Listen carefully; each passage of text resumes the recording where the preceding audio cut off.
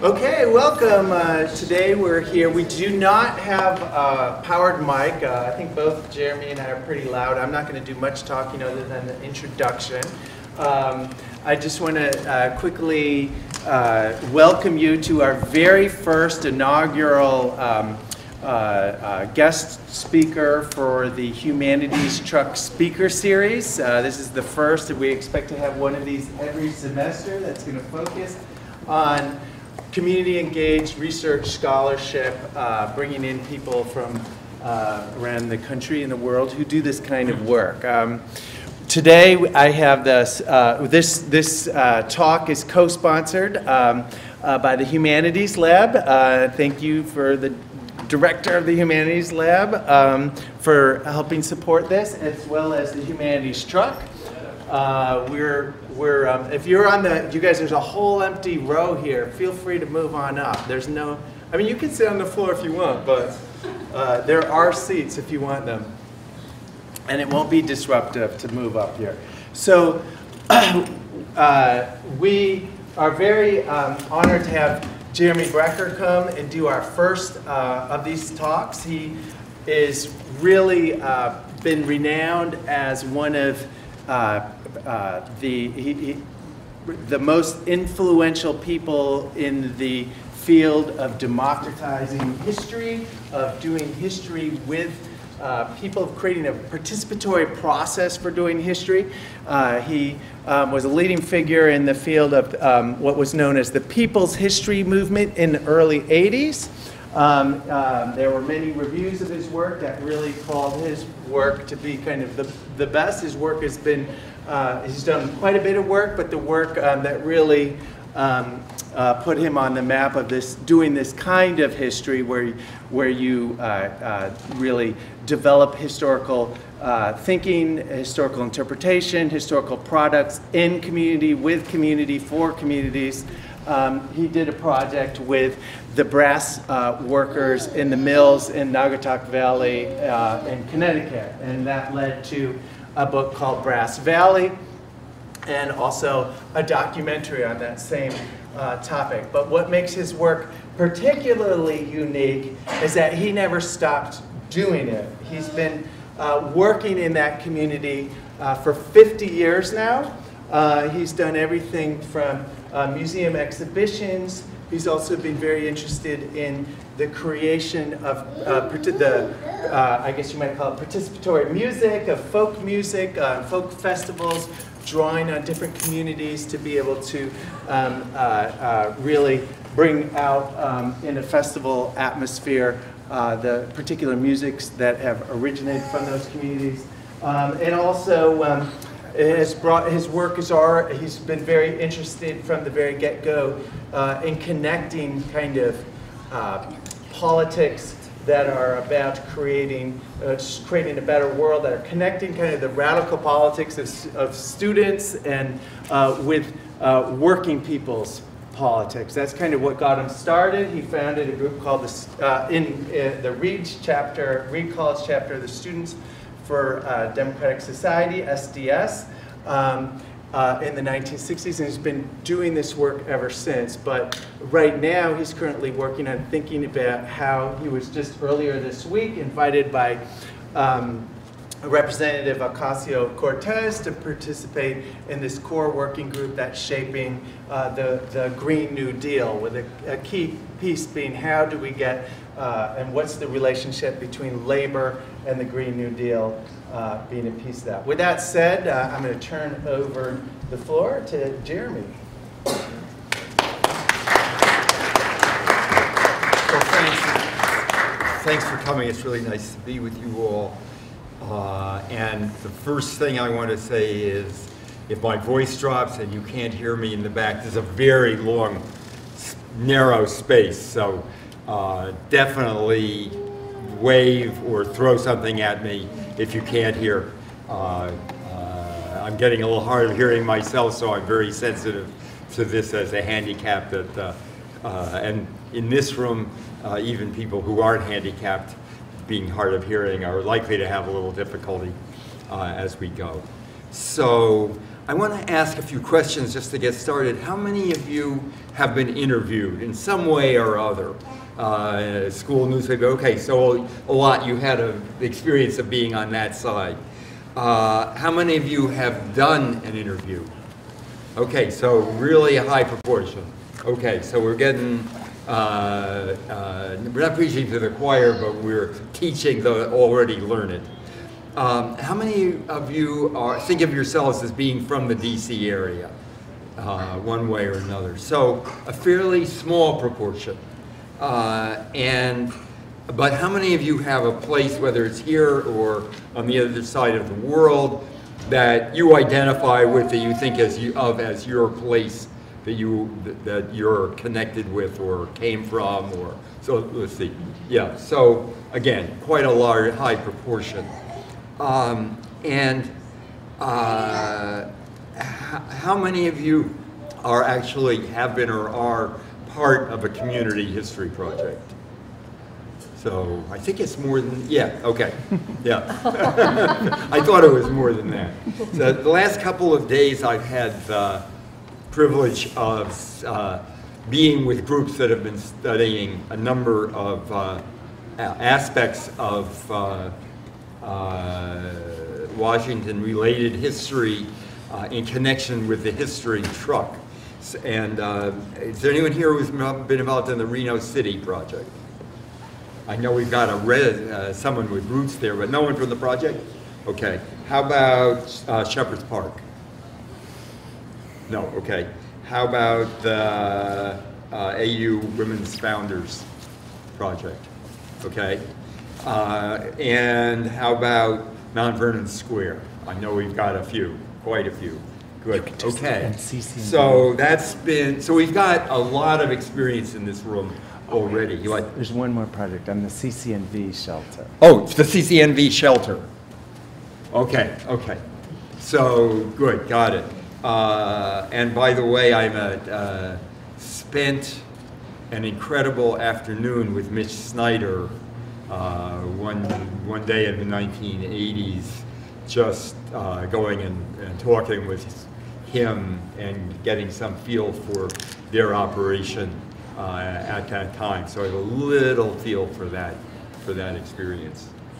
Um, so I got started in doing community history, participatory uh, history when I was a tiny kid and I lived in a little community. It was just a couple dozen families uh, and but it had a, a collection, it made a collection, a history like a scrapbook. Uh, and every three or four years they'd make a new volume and they'd have photos and they'd have letters that people had written and uh, uh, Fourth of July events and just the daily life of the community was documented in that way. And as a kid growing up, uh, I, I would love to pour over these old uh, photos and see the people that I knew as the 70 year olds uh, at uh, 15 or 20 making fool of them, fools of themselves uh, at, at the swimming hole and things of that kind. Uh, and that was kind of my, uh, the germ of the idea of why should history be something that's done exclusively by historians why shouldn't it also be done by people who are out of the communities that that history is about? Um, I didn't get a chance to actually try doing it uh, until the project that Dan was describing. I, can you hear okay? Is it okay? Good. Uh, and uh, the, uh, so around 1980, I was getting to know uh, a, a the people who had worked in an area in western Connecticut that had been the center of the American brass industry for 150 years. And the industry was on the skids. It was sort of the, one of the leading uh, edges of deindustrialization uh, of uh, what came to be called the Rust Belt. Uh, and um, So I met some other people who were involved with that community, and we said, let's do a history of the, of the people of the brass industry and what was known as the Brass Valley, uh, while it's still there. And um, the, the, the, and then we came up, why not, well, I should say, I had written a book before called Strike, that was a labor history book, and it covered 150 years of American labor history. And I didn't talk to any workers or anyone who had been involved with that experience uh, as I was doing it. It was completely written in the uh, loft of a library uh, uh, from books and documents and whatever I could get for old records. And when I was done, I said, there's something screwed up about this way of working. And uh, I'm, I, I'm now just working on the 50th anniversary edition of the book. I still like the book, but I also feel like this was not the only way and necessarily the best way to do history that's essentially about ordinary folks. So uh, we, we dreamed up the idea, and it's, now it's, a, uh, it's an idea that's being revived as shown by the, the project that I was mentioning and the work that various people here are doing. But at that time, it was quite an original, unusual thing to even think about the idea that uh, history would involve not only professional historians, but would also involve uh, the members of the communities that they were studying and writing about. Uh, so we decided we would do that. Um, and the only problem is we had no clue how to do it. Uh, we said, well, we'll organize history committees in local unions and senior centers, and we will have an advisory panel, and that was about as far as we, we got uh, in think, advance thinking of how we would do this. Uh, we had only one model to go on. There were some people in Lowell, uh, Massachusetts, which had been the center of the shoe industry uh, in, the United, in uh, the United States. And um, uh, they were also organizing uh, a community-based history project about the shoe industry. Uh, and we went up uh, to see, talk to them and see the event they organized. And one of the community members who had been the secretary of the union local and was now the secretary of the retirees local uh, said to them, you have to provide food because people who are retired shoe workers are living on very low incomes and the prospect of a meal is a really attractive thing to them. And then the second thing is she started saying to the people who came, uh, um, uh, are you coming, to the people who came through the, the retirees office, are you coming to the reunion? And we had, the people who were organizing this had not thought of it as a reunion. They thought of it as a history day where people would come and give their testimony and so on. But she was the one that looked at this and said, well, the way to make sense of this for people is this is a reunion. This is a chance to get together with your old friends and acquaintances and people that you worked with for all these decades uh, in the shoe mills, shoe factories, and to join, join with them and to tell your stories to each other and to these nice young kids that are coming here uh, to do this project. So that was, uh, those are the two great gems of wisdom that we had to guide us, and it gave us a whole way of thinking about what we were doing that we hadn't had. Uh, first of all, that we had to provide something back. We couldn't just say, oh, we're wonderful people who are here to help you tell your stories for people for whom that was why should they tell their stories? And the other was finding ways that we could make what we were doing meaningful in terms of the uh, community that we were that we were uh, hoping hoping to be working with.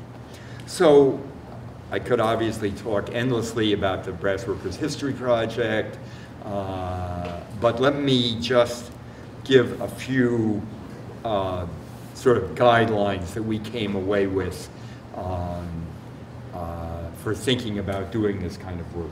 First of all, to me, the beginning and end of uh, wisdom about doing these kinds of community projects is respect.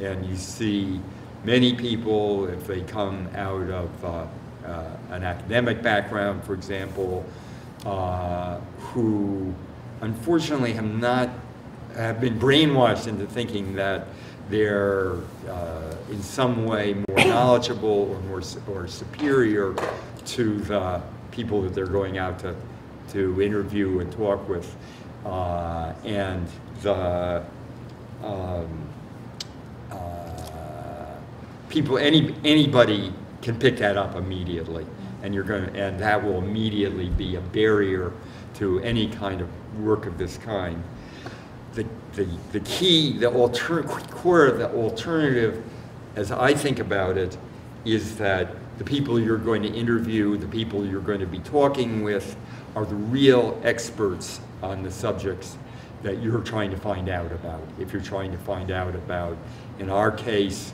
uh, how the workers in the brass plants uh, organize themselves to have uh, uh, both more control on the job, to have unions so that they could negotiate over getting a living wage. The people who really knew that story were the people who had worked in the, in the plants, and there, no one else was really an expert on that, least of all those of us who were going in uh, to, to try to uh, uh, record and report on this story. Uh, similarly, um, the cultures and various kinds of institutions of the immigrant groups in the community we didn't know anything about, and we really couldn't read a book or talk to an expert who really understood very much about the 10 or 15 different ethnic groups that form the core of the, the uh, uh, life of these communities. So they were the experts. That was the, the core. Um, another thing uh, that relates to that is um, uh, how much is learning. Um, they're the experts, and the assumptions and views you have uh, that you go in with may not be the right framework for understanding. We were doing a labor history project. That was our definition of what we were up to. And um, a number of people uh, that were our informants, there were people who were working with us uh, on the project from, from that community, took us aside and uh, said, as one of them put it, you know, uh, you're never going to understand this community if you just approach it from the point of view of a labor story. That's part of the story, but Waterbury, that's the main city of this area, uh, in the old days, it was all sectioned off. That's a local phrase that people use there. And people didn't mingle too good. Mingle was another word they used for, uh, uh, it was sectioned off and, and people mingled or didn't mingle across the lines of the Lithuanian or Polish or African American or uh, uh, uh, French, Canadian communities. Um, and if you want to understand what was going on, you have to understand that. And it turned out that that was completely true. Even for doing a labor project, we learned that, for example, the early strikes and unions uh, were actually organized by ethnic groups. So there's a general strike in this community in 1920, uh, and they had different sections for about seven or eight or nine different uh, people, uh, peoples, ethnic groups that, that spoke different languages, so they had the meetings in different languages. And then they had a, a council that represented all of, all of them, rather than having, for example, a different uh, uh, play uh, organization for people who worked in each factory, which is what you would think would be the natural thing for a union. Uh, well, we never would have understood that if people hadn't taken us aside and said, um, okay, here's something you need to understand about this community. And then we gradually realized that, yes, that was really completely right. Um, another part of it is it's very easy to have um, stereotypes about types of people. So, oh yeah, an, an old Italian woman is going to be like such and such. Uh, and um, uh, that's something that all of us, I think, have to constantly fight against. Is we live, it- stereotypes are a natural thing to have about all kinds of people. Um, the most uh, uh, abrupt experience I ever had with this was usually when I do an interview, very often I'll start out by saying, well, tell me a little about your family, uh, and then I'll kind of pause, and they can pick that up and respond to it however they want to. It's a very open-ended question. They can say, my family came from Italy, or they can say, you know, uh, my family were very mean to me when I was a kid, or whatever they want to say. So I did it for the 150th time. And the woman I was interviewing said, Well, I don't know anything about my family because I'm an orphan. And um, so, and I had no idea what to say next. It was uh, uh, nonplussed in a way that I just didn't, didn't have any idea. And fortunately, she immediately came to my salvation and said, uh, well, of course, there's the family that I was raised in. I could tell you about them. Would you like that? And of course, I said, yes, that would be great. Um, but the, uh, the struggle against one's own stereotypes is a constant part of this work. Um, so after we did the uh, Brass Workers History Project, we did a book and a movie, uh, which were very much designed for the local communities and the wider community uh, statewide, which was filled with people who had left the Naugatuck Valley because there were no, there were no jobs, uh, but still had a strong identification with this place as the place they had come from. And also for other communities and uh, work groups, other places uh, who had very parallel uh, experiences, even though the, the nitty gritty details were different. So we made the book and the documentary. We showed the documentary in community meetings up and down the valley. I should say uh, that two other quick things about doing it. We had, um, uh, in the interviews, one of the things we did is we just assumed the people we were interviewing, as I said before, were experts and we weren't just collecting facts from them. Uh, or even just, well, I remember that such and such happened and such and such happened, but we tried to draw out their interpretations of the meaning of the experiences that they had had. Uh, so um, the uh, way in which the guy in the Lithuanian community said, um, uh, well, our, our role in this community was transformed by, I said, what's the biggest change you ever experienced here? Expecting something about the closing of the factories or something like that. He said, Vatican II. Um, the uh, coming of uh, uh, the reform in the Catholic Church. It's a highly Catholic city. Um, and I said, why was that so important? He said, if you were Lithuanian, you became equal to the Irish. The Irish priest couldn't kick you around anymore because you were Lithuanian instead of Irish. Again, something I wouldn't have thought even to, to think about a- asking.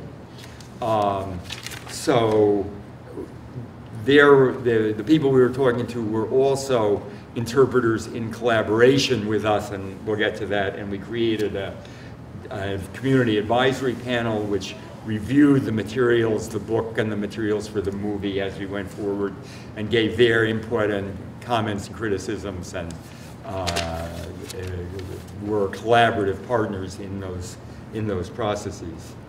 Um, so. Um, one of the main questions that people ask about this stuff is, what's the point? Why, why do this? What's the reasons for it? And in a little less, you know, hostile manner, uh, does it have an impact? What are the, is there, are there effects to it? Or is it just a sort of nice feel-good experience that allows people to uh, be nostalgic, have a little nostalgic uh, revival of their, um, uh, of their earlier lives? And um, so I tried to think through some of the things that I think of as impacts. Interestingly, the first two or three years when we did it and soon after it, uh, I, had, I thought that the impacts were really pretty limited. But as I continued to work in that area, in that neighbor uh, uh, region, uh, I've gradually come to see more and more impacts. Um, when we did the uh, ethnic music project, we had a series of festivals with uh, the musicians and, and largely organized by the community music activists, uh, cultural, ethnic cultural activists, the people who organized the picnics and organized the uh, Lithuanian Day or the uh, Black History Day uh, or the exhibit in the Lithuanian uh, club, uh, social club about the history of the community. Uh, they were kind of the background. What we did was to bring them together and have them be the background of this ethnic music festival and research project. And they um, uh, uh, were brought the musicians that their community recognized as their musicians. We did not, unlike most folk festival type things, we did not bring in headliners from out of town who would draw a big crowd. We brought the musicians who were the people that played at the dances or the church choir or the other musical uh, uh, elements of their communities. Uh, and then we had a series of, festivals for everyone, for the city. Uh, and uh, at the beginning of one of them, there was a guy from the city who was setting up the bleachers in the park. And he came over to me and he said, what, uh, uh, what's this all about? So I explained what we were doing. And um, he said, oh, uh, you know, uh, that's very interesting. Uh, and I should just I should say there had just been a horrible uh, racial confrontation in Bronxville, in uh, in uh, Brownsville, in New York City. It was national headlines, um, people killed, and so on. And uh, so when I explained the project, he said, um, "Oh, that's the kind of thing you want to do if you wanted to prevent something like what happened in Brownsville." And I thought, okay, I get it. We're on the right, we're on the right track here. And many people commented on how the the uh, festivals and the other part. We did a long series of radio programs and a TV show and various other things uh, about the, the ethnic music. And many people commented on this as a means to make people in a in a city in a community that had very very high level of racial tension uh, and interethnic tension and uh, just a hard, hard community. Um, uh, this was a vehicle for people to, to say, well, there's a value to being with people who are different. Uh, re- uh, another piece had to do with uh, the, um, as today, this was also a time of a lot of anti-immigrant sentiment. Uh, it rises and falls often in conjunction with economic cycles. And this uh, early 80s period was definitely a time nationally of, of anti-immigrant sentiment. And we did a lot in our project with uh, previous generations of immigrants and the various kinds of discrimination they had faced. And many of the people in the town at the time we were working there were the descendants of those people and had heard stories about uh, signs saying no Irish need apply or similar kinds of things. And um, uh, so we use that history as a way of fomenting a community dialogue and a degree of consciousness about, well, anti-immigrant sentiment, this, is this something we really, can, can we see this from another point of view? Um, the, with the Ethnic Music Project, again, a time of war and international conflict and a lot of uh, uh, America First type thinking then as today. And we used this Ethnic Music Festival and the things we were doing as a way of talking about how lucky we were to be linked to communities all over the world. And this connected us with people in, in Africa and people in Latin America and many different countries in Europe and Canada. And that was a, a, a way of making, uh, we, uh, we had, a, uh, uh, we had uh, lemons and we made lemonade out of it in, in those kinds of, in terms of giving a different possible kind of interpretation of what it meant to be in a, in a multi-ethnic community. Uh, and when we first started working there, uh, there was a almost a widespread uh, narrative about why the brass industry was closing and had why the brass plants had closed, which was uh, the workers were too demanding. They demanded they wouldn't uh, give concessions to the companies, and therefore they couldn't. The companies couldn't compete with place other uh, par uh, parts of the country and other parts of the world, and so they went. Uh, the companies pulled out and it was a, a blame the worker explanation was almost uh, ubiquitous uh, when we when we came in, and uh, one of the things we did was to try to make available to people other explanations of what happened. Some of which were very simple. Uh, uh, brass became largely re uh, replaced by plastics. had nothing to do with wage rates um, the companies, local brass companies, had been purchased by uh, national copper companies, and then they had been purchased by uh, international oil companies. So we had these old plants that were actually owned by uh, Arco and um, uh, other uh, Ohio and other global oils companies. Um, who they were just a fleck of ink on a on a balance sheet, and they would just say, "Oh, we're going to close this." In fact, after buying all these companies, a, little, a couple of years later, they said, "Well, we're we're going to get out of the out of the copper business," and um, so they just sold them all off. So we told the, that story, and we actually had community people uh, say, uh, "Okay, what was what what was this plant originally? Uh, that, that, was the, that was the pipe mill. Uh, and, and what had, and it was owned by such and such a local uh, entrepreneur. And then they would go through each uh, company that had bought it until it ended up being owned by uh, Atlantic Richfield and told a completely different narrative about uh, how this community had lost control of its own economy uh, and been uh, acquired by people who had no interest in it whatsoever.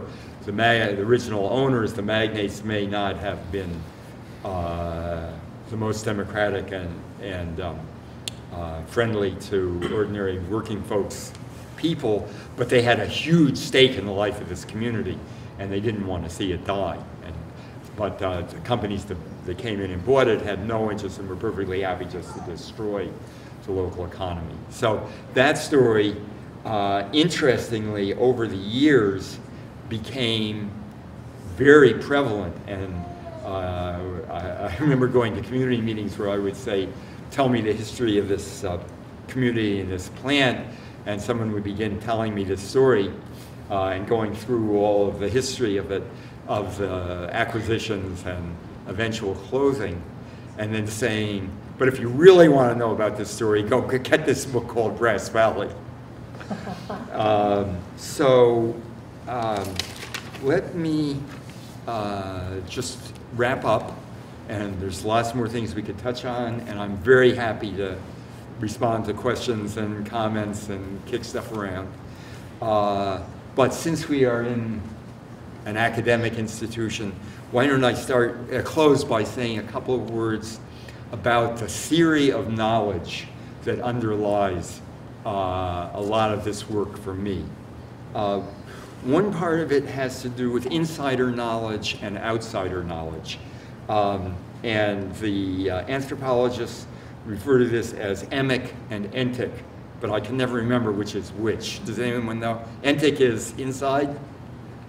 Okay? Yes? Outside. Etic is outside. The knowledge from the out, of the outsider has of a group, uh, and emic is what the insiders uh, uh, have, knowledge that they have of the group. But the, the core uh, point, and I should say, my uh, description of what my role was, I was definitely, in this community, started as an outsider, uh, and I'm proud to say that by the time we were done, I felt like I was a pet outsider. Um, but the community knowledge is, the way I think of it, is really uh, uh, an extension of what, what we were doing with that kind of project and the projects that uh, I I mentioned before that people here are involved with.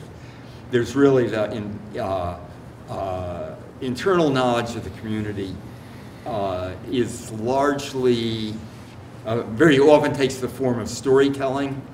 Um, And this kind of work is in large part an extension of a process that's actually a normal part of the, the life and experience of, of any, any community where people tell each other stories.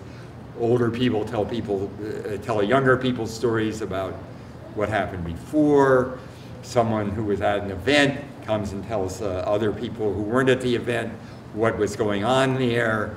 Uh, and then discussion that grows from that. It's just a normal part of everyday life of uh, uh, human beings. But, uh, so that's the inside part, and that's what's usually left out of uh, history as it's normally written.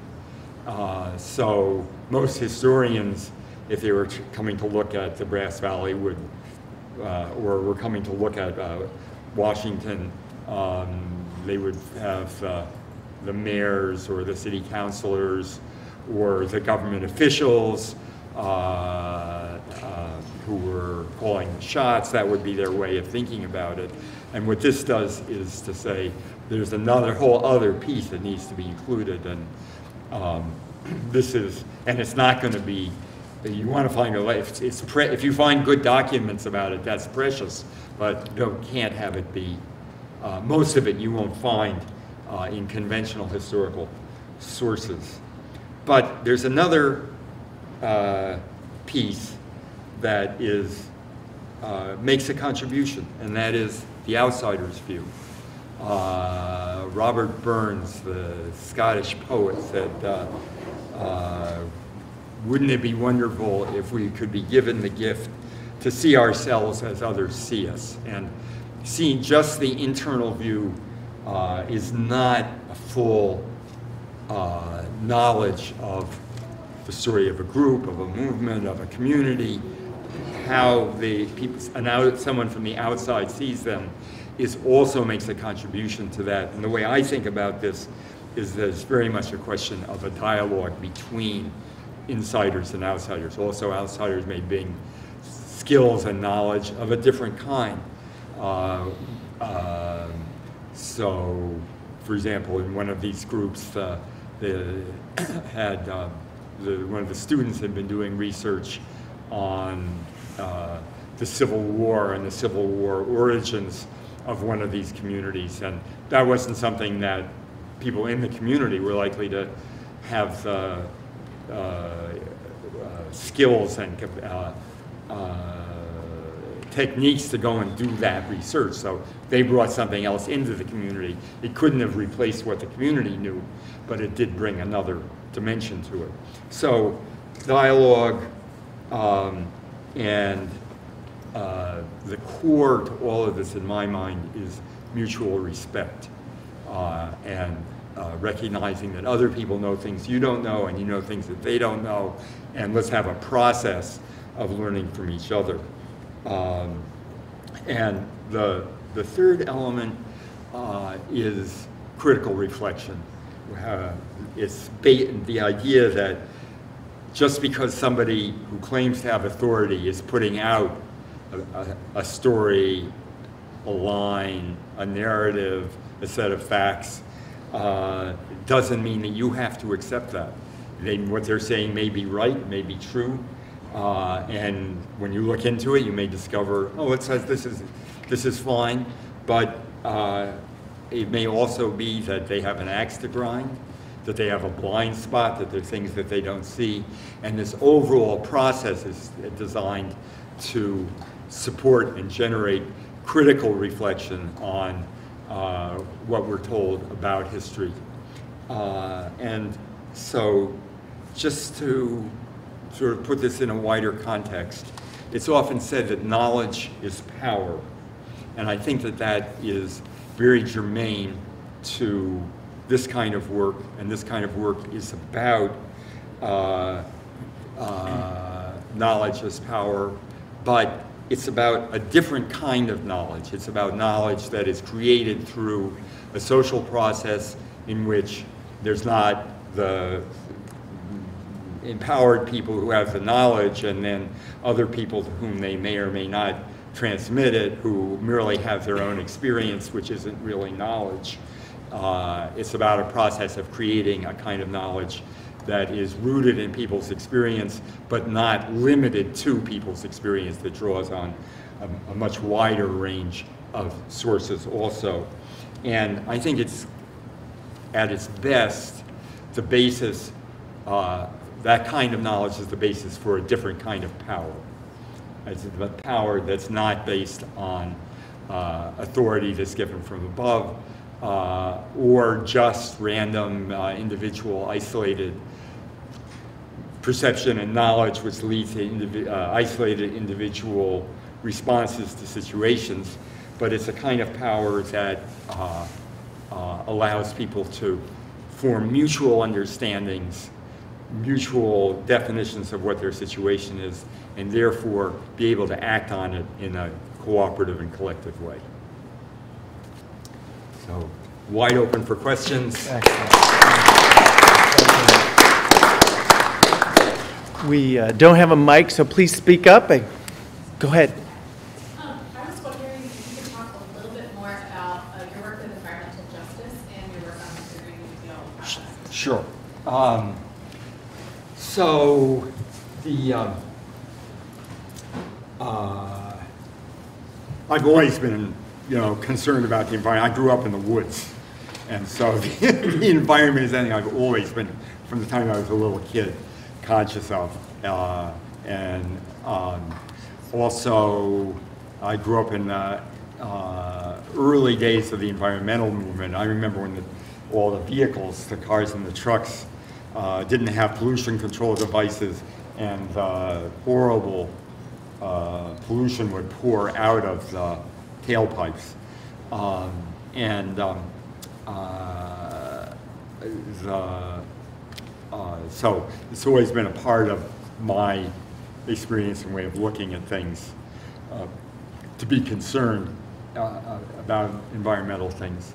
Um, the uh, knowledge about uh, climate change and global warming really goes back a long way. It was pretty much ignored, but I was reading things 25 years ago, actually now 30 years ago, that laid out the whole impact and what, what it was going to be and everything that we're experiencing today was knowable. It's just people didn't want to know it. And so that really concerned and worried me, and I always, everything I wrote, I put uh, a little bit of, uh, you know, just like this is something we got to be aware of and think about. But I had no clue whatever what to do about it. Um, the, uh, then, uh, as the climate movement began developing, uh, I was um, want, very much wanted to participate in it, and I was in the first sit-downs uh, at the White House for, um, for civil disobedience in the White House around the KXL pipeline. uh, and um, uh, just sort of just as a as a person, as a citizen and an activist. Um, so that's really my background on it. But um, uh, then I there there was someone I knew who had been a, a union official who was actually retired in order to play rock and roll, which was one of his passions, and to uh, try to get organized labor to take a strong stand on climate change, which was his other passion. Uh, and so he asked me to work with him. And so for most of that, for about a decade, I've worked with a group called the Labor Network for Sustainability, uh, which has been uh, we're, uh, working, organizing within unions uh, and the labor movement more broadly, uh, especially to challenge the idea of um, that protecting the climate is just going to destroy everyone's job, which is the fear, very natural and in some cases valid fear. Uh, and climate protection, in fact, will create many more jobs than it destroys, but different set of jobs, and there are going to be people who would, would be hurt by it, and every job is important if it's your job.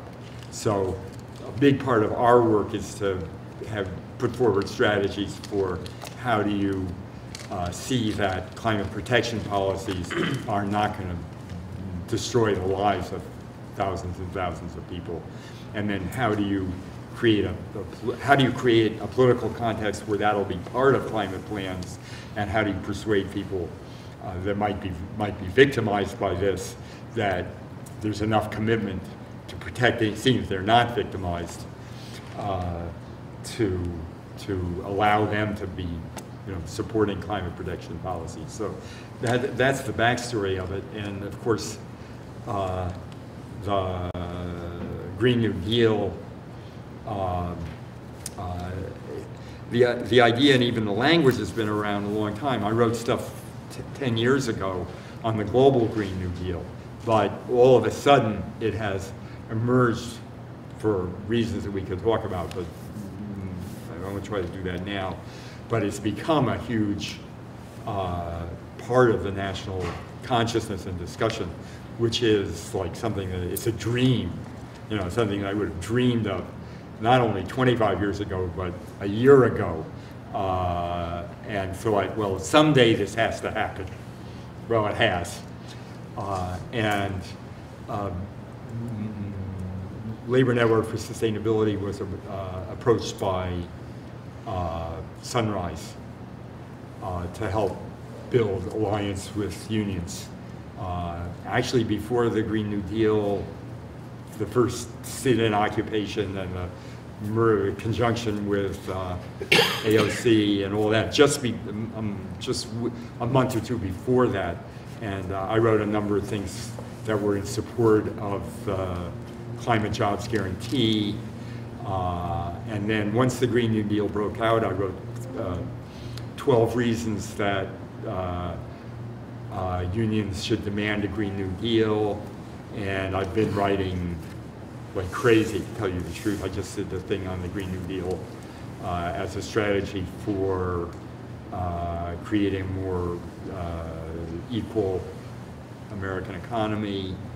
So th- that's the, and I was just, uh, uh, as Dan mentioned, I, there was some meeting with fascinating group of people. So at 80 people, about half of them were came out of the community movements and organizations, and half were what you might describe as policy wonks. There were people with massive exer- uh, expertise in energy policy, transportation policy, uh, et cetera, et cetera, uh, academics, people in government and think tanks and so on. These were two very, it was a very big question what it was going to be like to bring these groups together. Uh, and it ended up being terrific. It was great. The uh, uh, policy people and the community people uh, regarded each other with great respect. Treated, behaved, everyone behaved well, the things that you would expect of uh, uh, the policy people, they might be really arrogant and why are we bothering talking to these people? Quite the opposite. It was, uh, um, uh, you know, we, we, not, we have part of the story, but this is going to have to be done on the ground by people like these people. And conversely, the uh, uh, community people did not say, why do we have all these uh, people from the elite trying to tell us what to do. They were very open to the, okay, here's somebody who has some uh, knowledge that we can make use of. So it was, uh, ended up being, it started with a lot of tensions, uh, but very rapidly, as soon as people started talking about the nitty-gritty concerns, they were very much uh, able to have a good dialogue. So, yeah. Go ahead. Yeah. Um, So my background is in literature and film. I, I'm not a historian. And when you were talking about storytelling, I was remembering experiences that I've had in small communities, villages, places where I've lived, where often the storytelling about the past ends up being somewhat fatalistic. Like this happened, and then this happened, and then this happened. And it does create a sense of heritage and a sense of understanding, but it doesn't necessarily create aims for the future. Like, therefore, we have to but you have had a real experience as an activist as well. So I was wondering how you negotiate that, like the telling the story, which feels like it's the past, versus Right. therefore what do we now do? Right, and it's a, it's a, it's a very good question, and uh, many of these communities have a strong sense of defeat, that they tried to do stuff and they were beaten down. Uh, So that, which makes what you're saying even more, even more relevant. Um, The, uh, and I don't have a cut and dried answer to it. I think that the, um, and let me just, and let me add that also the, the faction, factions and sores from internal conflicts in the communities are also, a- a- a- in a- are a sort of similar problem where we, we can't do anything because of those people over there. Uh, So the, let me, and we did, we didn't take it as our mission to directly, we weren't there as uh, organizers and activists. Um, So I don't think anybody who interacted with us would be in, the- under illusion about who who we were and that, that our, our motivation was certainly thinking that people in communities like that should have more respect and more power. But um, uh, it's, uh, um, uh, the, I think that the, the first thing we, the first answer I would give is those places where people were able to uh, uh, together, accomplish something, uh, win, win some battles. We were certainly try to hold those up as possible, even if they, it- what they achieved wasn't perfect. Uh, The idea that we can't do anything, we're totally hopeless uh, and helpless in this situation. Well, if you look at the history, there's a lot that's been forgotten and left behind that shows that that's only one side of the story. Um, The, we s- s- also uh, certainly always um, included in the discussion, uh, what's the meaning of this for the future?